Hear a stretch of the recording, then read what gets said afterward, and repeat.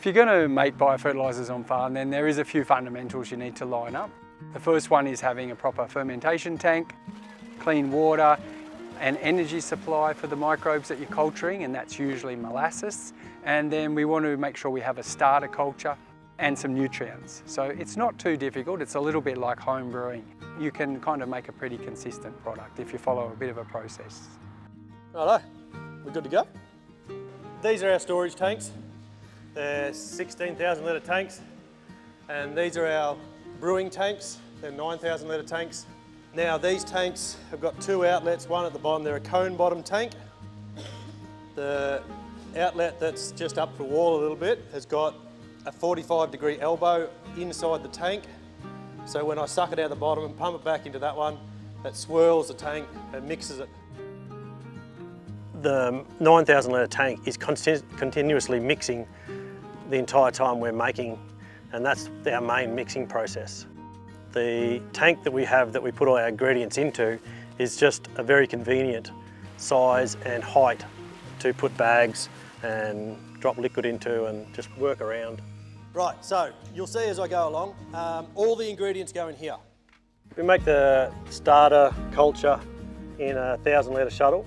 It is molasses, milk and kefir that we buy from the supermarket.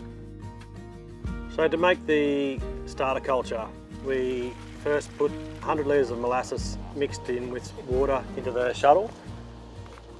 Into that we add 150 litres of milk in powder form. Chuck it all in, no worries at all. And 14 to 15 kilos of kefir from the supermarket. Because it's a food grade product, it comes with a labelled description of what's in the bottle and it has to, what, what, what's on the label has to be in, in there because it's human food grade.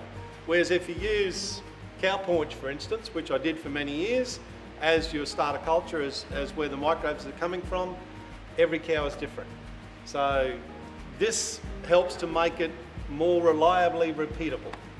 Every brew we make smells the same, looks the same, and we mix all that into a shuttle, make sure it's well mixed, and then put the lid on it fairly loosely to allow air to come in and out if it needs to. Takes two weeks to brew? Yeah, and once it's matured, it's, it's very shelf stable, can stay there for a couple of years. So what the guys have just made is a starter culture. So this is the base culture that can be used in any other biofertilizer recipe. You can even clean your toilet with it. There's all kinds of things people do with it, but it's the starter culture based on that kefir. You'll notice that the guys have left a little bit of space at the top of the shuttle.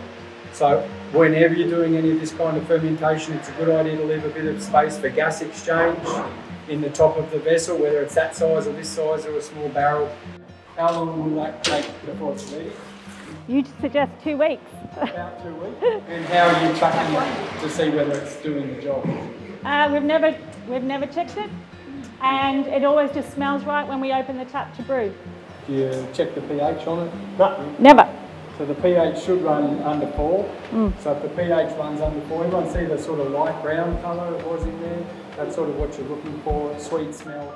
And That's, that's the key, and you said it, Carol, is the smell. Yes. Use your nose. If it smells like shit, it is shit.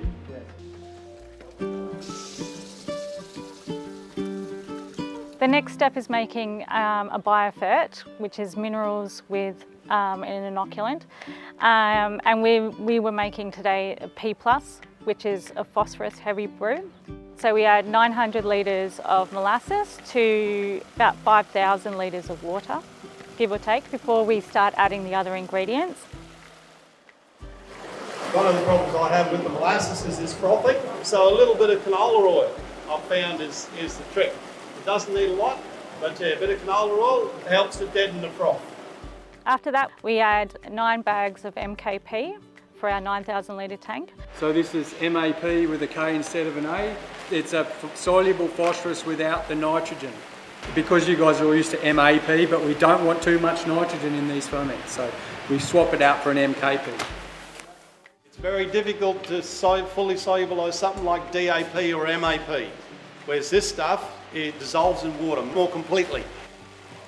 The key thing is you want to dissolve it all nicely so that the microbes, as they start to eat up the culture, they can easily get into this stuff and it doesn't just settle to the bottom. We add 36 kilos of trace at total. This one here is just an all-in-one trace element product. It's giving the microbes a range of nutrients to improve the culturing. All of them will be complex or chelated. Every step along the way we want just that in the tank with water mixing before we add it to our big tank so we can make sure it's very diluted before it hits any other of the uh, ingredients. After that we add our 900 litre Kefir inoculant. If you want to have a look at the starter culture, this is one that's been made already. So this is starter culture ready to go in the biofood.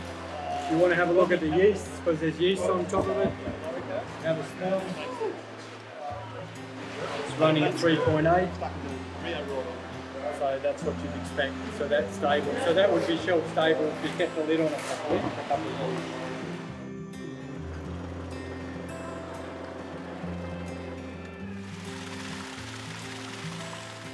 With it we add our milk powder. We add brewer's yeast and our kelp. This is the seaweed tri-kelp. Sea salt obviously has a spectrum of micronutrients in it as well for the culturing microbes. Then the last step is adding our Solumag and our Thiacal and we just make sure that the whole tank's up to 9,000 litres by the end. Who's heard of Thiacal? All right, so Thiacal is a liquid calcium fertiliser. It's quite well known in horticulture, but not known in broadacre at all. It's a liquid calcium without nitrogen because the main fertiliser used in horticulture with calcium is calcium nitrate, but we don't want nitrates in here. So the next best one is calcium thiosulfate. It's kind of like a liquid gypsum, but it's really soluble. So if you want a liquid gypsum that's truly soluble calcium, that's the product. Solumag, so that's a magnesium. If you had a high potassium, high magnesium soil type, would you put that in? No, you can leave that out. So again, as long as you're following the fundamentals, you can mix and match. And once we've had it mixing really well, it's well combined, we turn off everything and we tape up the top of the tank which has a fermentation lock in the top of it. As the microbes grow in population, uh, they uh, combine the minerals in the brew into their bodies and they uh, burp and fart out methane and that must escape the tank and the gas creates such a pressure that it needs an outlet. We just don't want any air coming in but we want all the gas to be able to get out.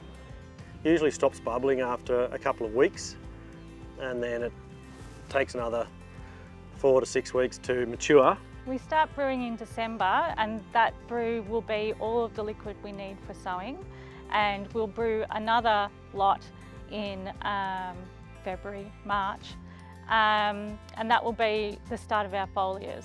And once sowing's finished and we've got some tanks free from all the sowing liquid, we'll brew again for our second or third round of foliars, depending on how heavy we need to put it out. We brew when we need to, not worry about time of year. Once it's matured, we're then able to use it either in our liquid inject system on the air seeder or as a foliar spray with the, with the sprayer. As a liquid inject, we put it out at 20 litres to the hectare, at 100 litres of water with that.